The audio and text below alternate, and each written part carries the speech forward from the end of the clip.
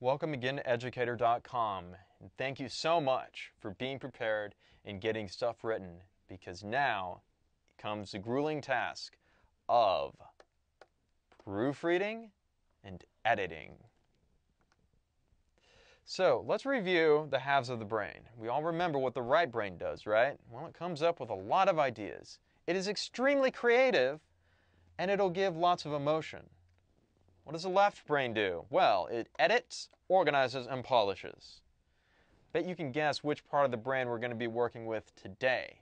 We are going to be editing, so we're using 100% left brain. This is the opposite of those journal entries you did at the beginning. Now we just got to make sure that our ideas are already on paper, and all the left brain is going to do is kind of arrange them, polish them, shape them, make them look better because you want your reader to like your paper as much as you do. So, the process of editing kind of goes into what I feel are three basic steps. First off, you got to do the most basic, which is proofreading. And then you have to edit for style. That's a little bit harder, a little bit more abstract.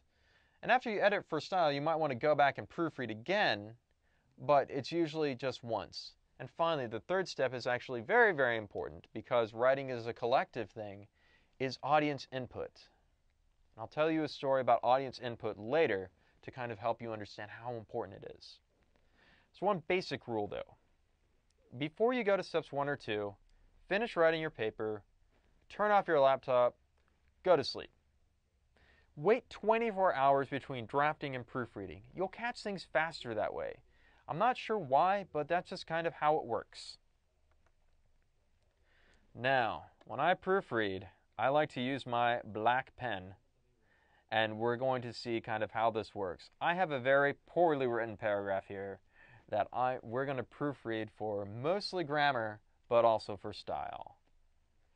Cicero was the very greatest Roman speaker and thinker. I'm underlining my problems right now. I'm using my left brain to find all the problems. He was never afraid to speak up a lot and for justice, morality of the republic. Okay, there's another problem. I think those are too many words. I don't like that. However, after a while, he he been wait, he been? Is that correct? Am I missing something there? So popular that he made a few enemies. Some of his enemies came to him and said, You're dead. Wait, you're dead? You are dead? Am I using the right you're? Is it you're as in possessive or you're as in you are? You're dead if you don't stop speaking. He didn't shut up. No, no, no, no, no, no. This is an academic paper. I'm not going to use the word shut up. I'm going to find something more appropriate. They killed him. Cicero is not speaking for Rome no more. Can you catch the errors there? Can you see how bad that sounds and how just a little bit of editing is going to make that sound a lot better? This is not the grammar course. I'm not going to go over grammar in detail, but what I am going to go over is some of the most common errors, including what I call the grammar cardinal sins, to help you make sure you don't make them.